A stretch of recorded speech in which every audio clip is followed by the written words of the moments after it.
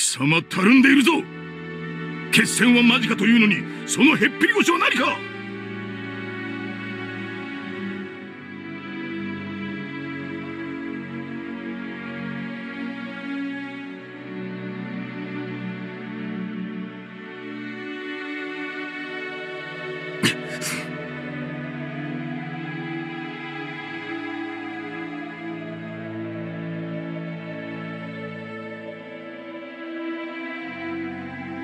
その腐った目つきは何か？貴様そんなに死にたくないか？そんなに米兵が恐ろしいか？そんな気合では打ち取れんぞ！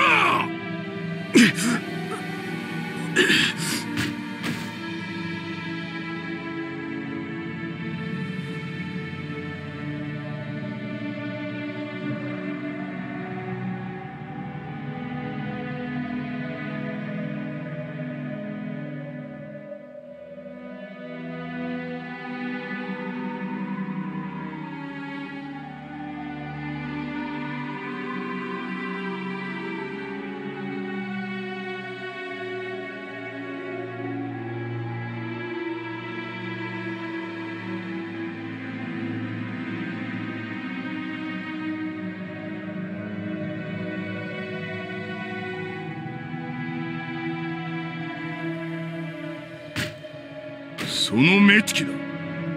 後ろ宮貴様の魂は腐りきっておるわ。魚だ。貴様の目は死んだ魚の目だ。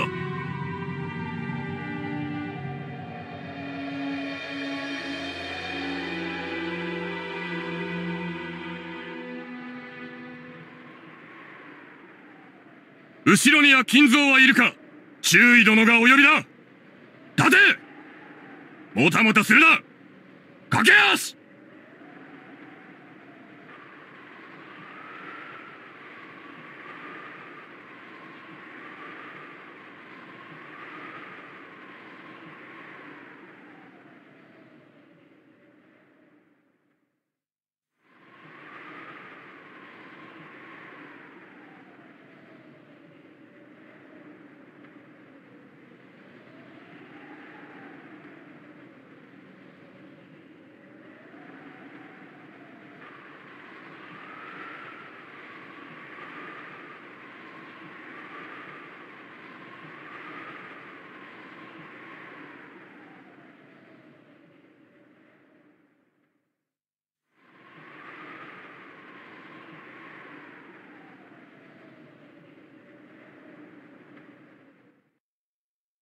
後ろ宮貴様は外国語が堪能であると聞いたが事実であるか？英語と中国語を話せるであります。注意殿。英語と中国語を話せるであります。注意殿。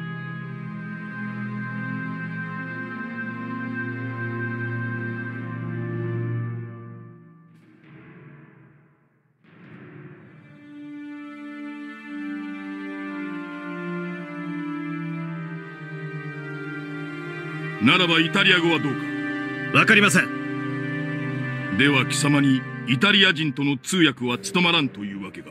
英語を喋れる者がいれば可能と思います。なるほど確かに。貴様外国人と英語で話した経験はあるのか？あります。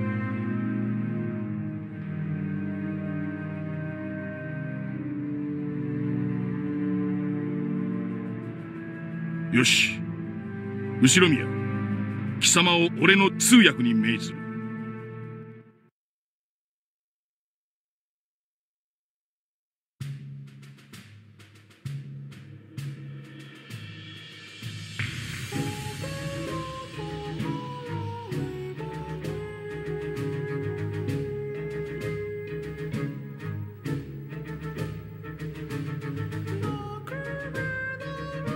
どうしてイタリア軍が？確か1943年にイタリアは降伏しているはずです。これはどういうことでしょう？降伏したのはイタリア王国だだがそれを受け入れない者たちは親独政権 RSI を樹立させ戦争を続けたのだ。RSI イ？タリア社会共和国月名サロ共和国だ。詳しいな何も知らぬ者はイタリアは枢軸国の中で1943年にいち早く降伏した腰抜けなどと呼んでいるがそれは間違いだ。イタリア社会共和国軍は開戦から1945年4月29日まで勇敢に戦ったんだ。ベルリン降伏はその3日後だ。腰抜けどころか大健闘だな。しかし RSI 海軍が日本まで航行できるような潜水艦を持っていたとは驚きだ。そうでなくともはるばる日本までやってきたこと自体が驚きです。彼らはなぜ日本に？六軒島に？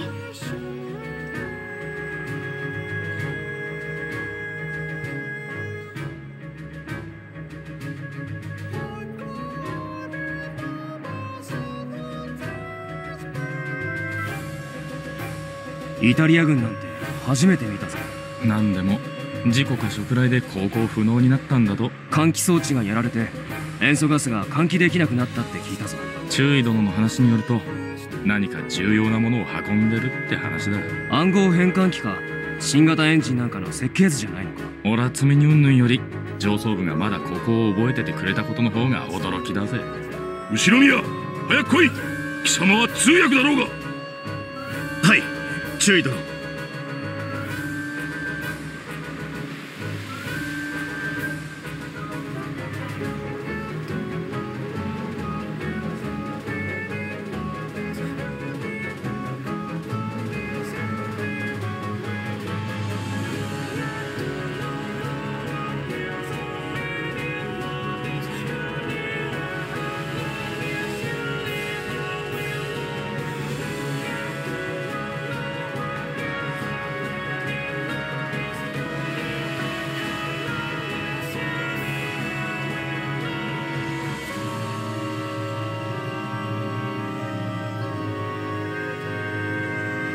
後ろ宮艦長は誰か聞け。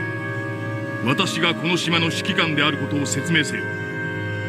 ようこそ日本へ。英語がわかる者に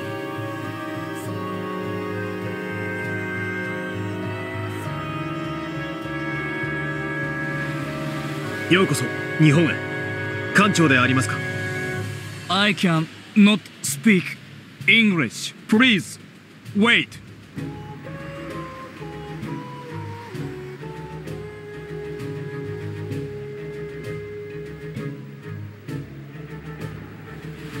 後ろ宮何と言っている？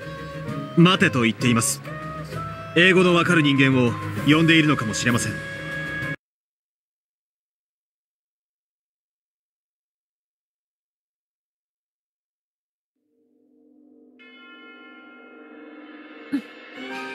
私英語わかるわ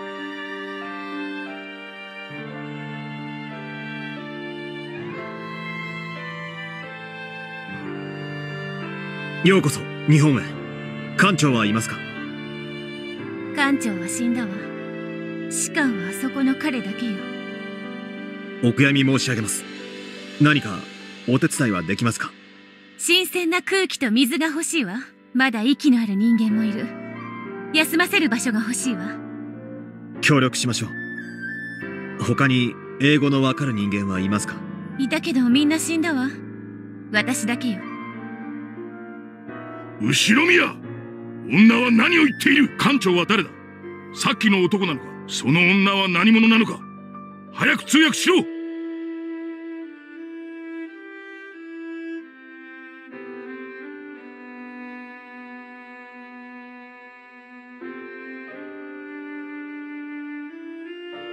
注意殿彼女だけが英語をわかるようです。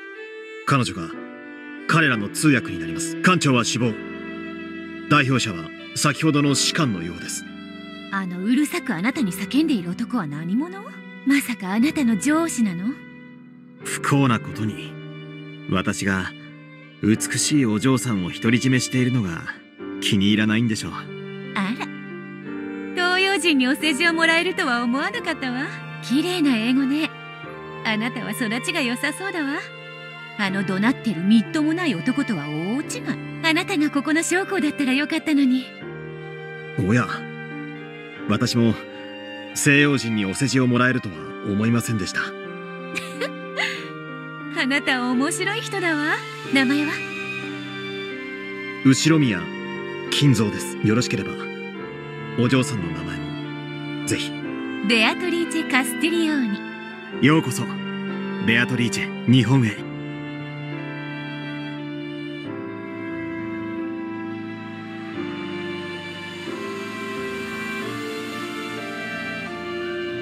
トリーチェとはイタリア人だったのですか？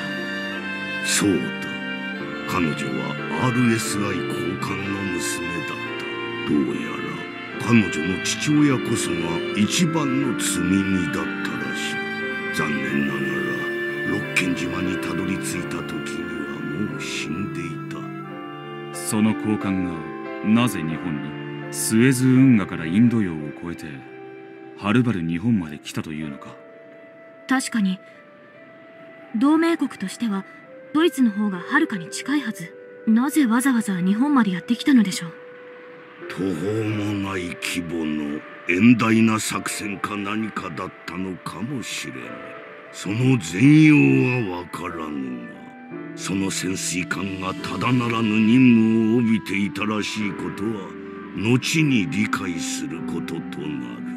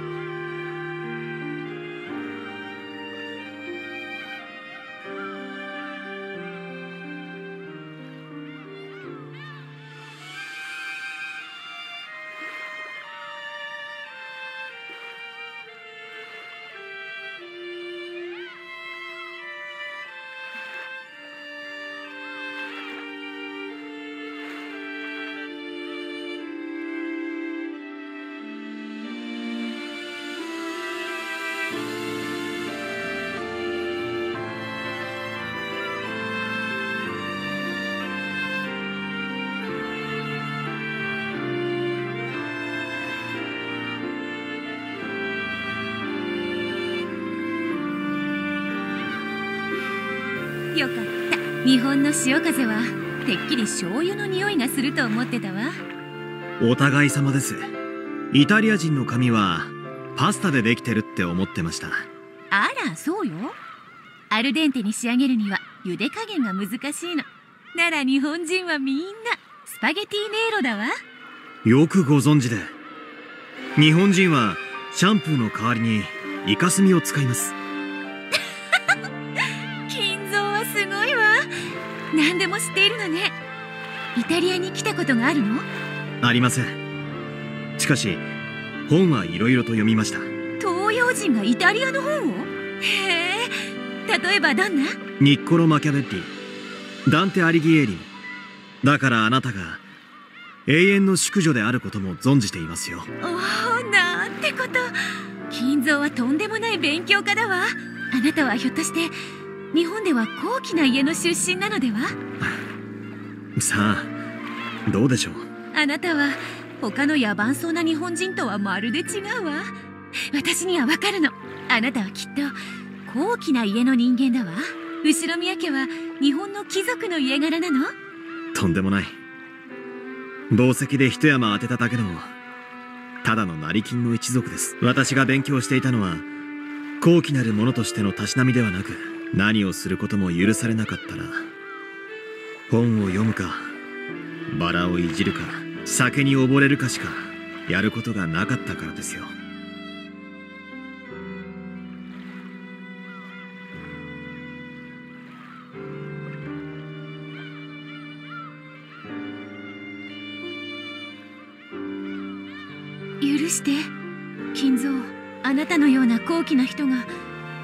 こんなおかしなところで兵卒の身分に甘んじているのか。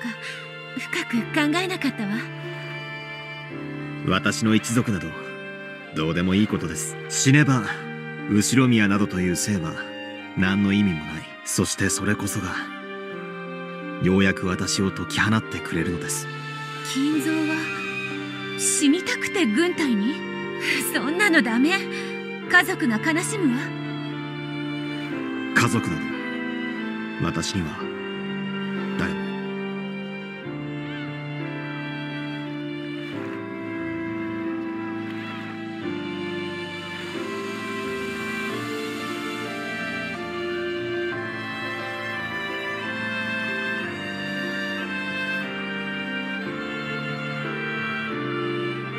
私にあなたの苦しみはわからないけれど。心ない言葉が傷つけてしまったことはわかるわ。許して金蔵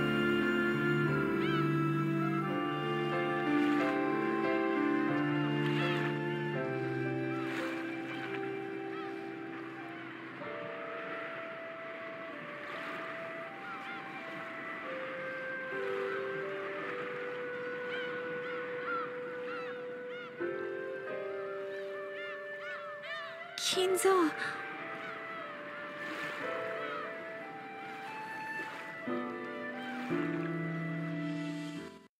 ありがとう。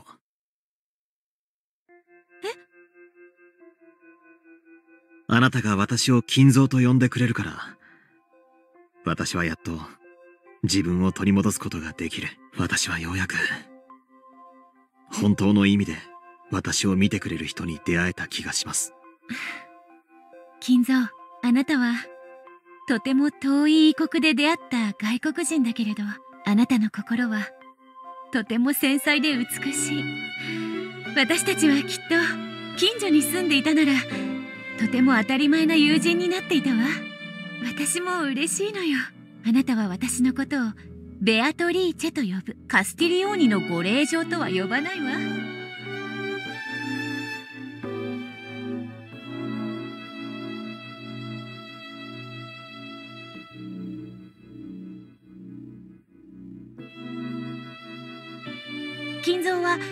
親しい者には何て名前で？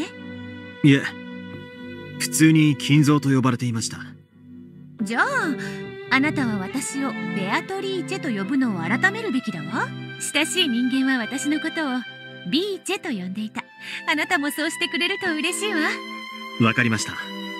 これからは親しみを込めてビーチェとお呼びをダメダメ。堅苦しい言葉はダメ。だって私たちはもう友人なのだから。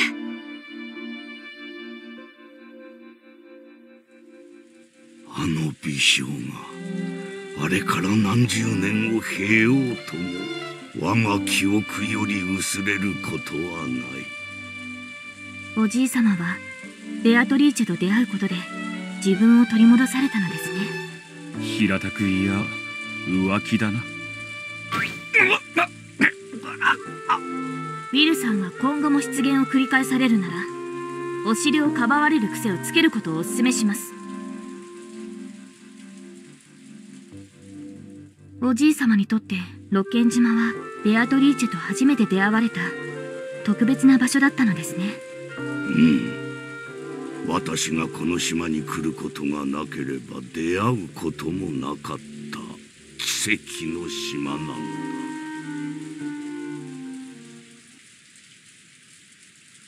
その潜水艦基地の名残とやらは今も残っているのか？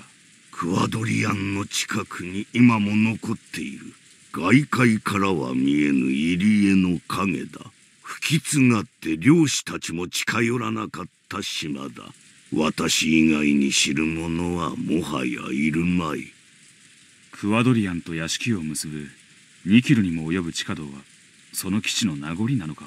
そうだ鍾乳洞を改造した広大な地下壕で地下を網羅し島内各地を要塞化するなどという寝言の残骸だ。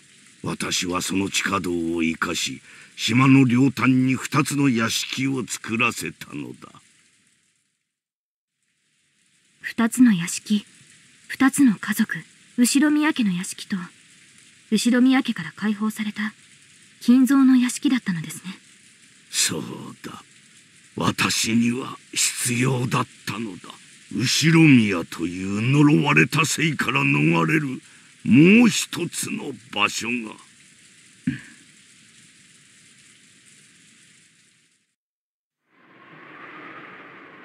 しかし同情するよはるばる日本までやってきて任務を成し遂げられなかったとは気の毒の限りだ。パパの任務が何だったかよくわからないわ。どこか遠くへ逃げ大切な日までそれを隠さなければならないと言っていた。それとは？わからないわ。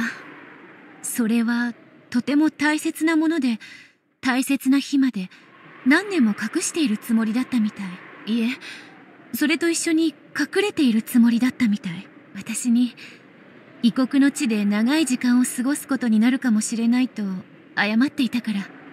アンジェロ少尉は積み荷は特になく君の父上が輸送すべき要人だったと言っていたが。少尉はあなたたちを信用してないわ。私でさえ知っていることをいくつも隠してる。ひょっとすると少尉はパパの目的と積み荷を知っているのかも。それが何だったにせよ。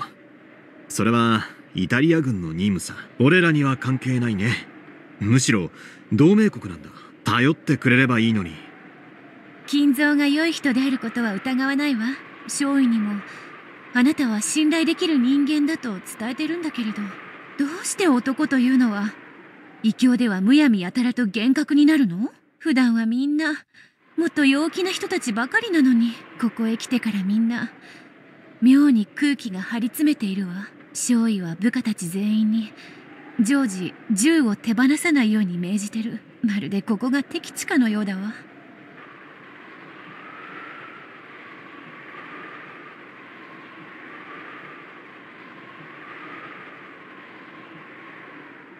軍人ならおかしいことじゃないさ。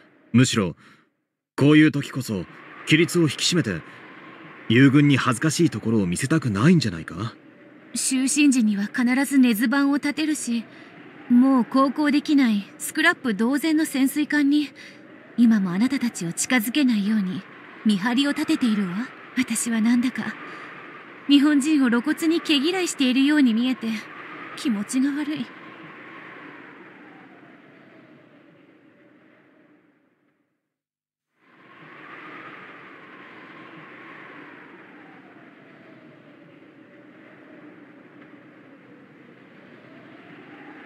慣れない生活を強いられてみんな気が立ってるんだろう。天候と女将の都合で。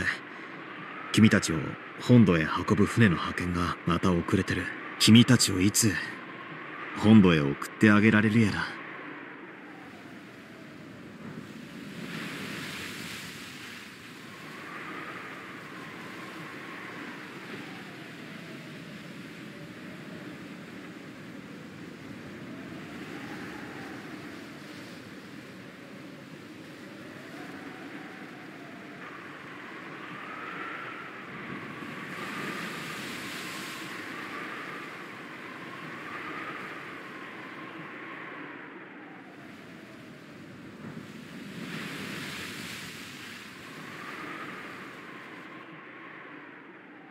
仕方がないしそれも悪くないわ。だって船が来てしまったら金蔵とはもう会えなくなってしまうんでしょ？確かに。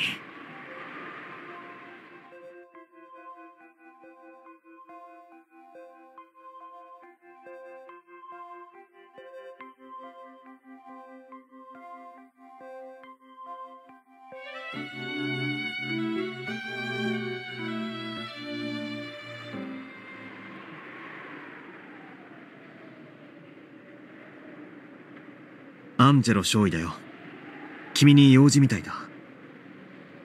またお小言かしら。日本人とあまり親しくするなと。最近うるさいのよ。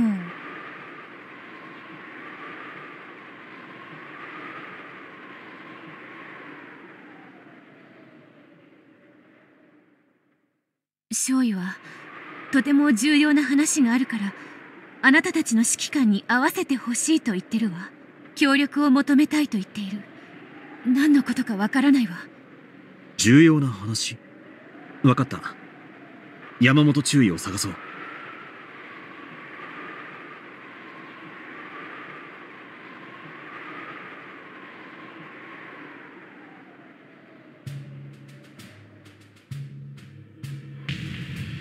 いいぞ！開けろ！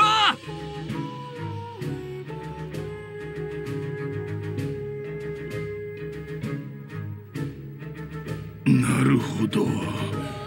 イタリア人どもが我々を潜水艦に近づけたがらないわけだ。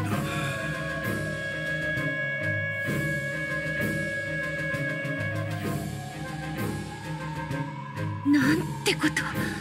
これがパパの運んでいた積み荷だというの？すごい。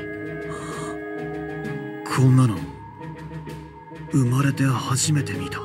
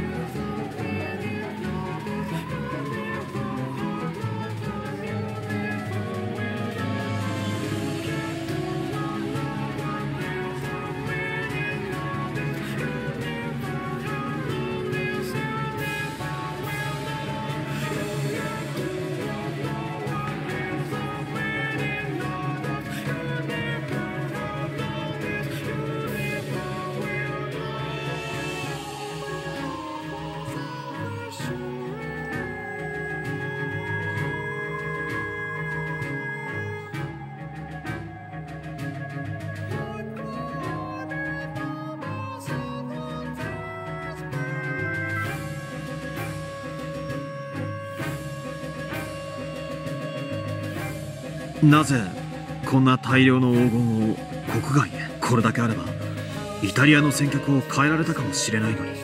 戦局を変えるのは武器。でも戦後は何の役にも立たないわ。確かに。お金も戦局を変えはするでしょうよ。でも戦後にもその価値は変わらないわ。